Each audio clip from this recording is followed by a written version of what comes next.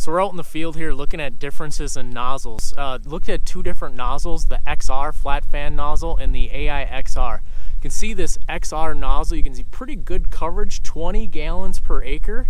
Um, but a lot of times I get approached in the field of, hey, I just got this color of nozzle or I get the shape of a nozzle. What's the difference? Why do I need to change?